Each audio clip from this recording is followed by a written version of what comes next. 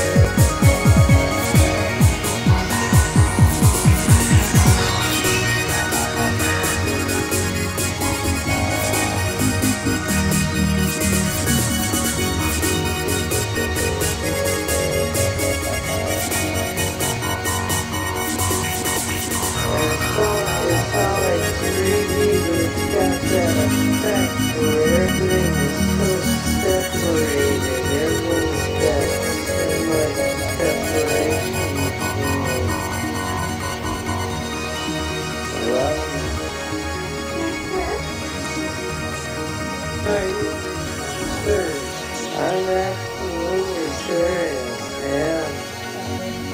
can tell you I'm not prepared for this.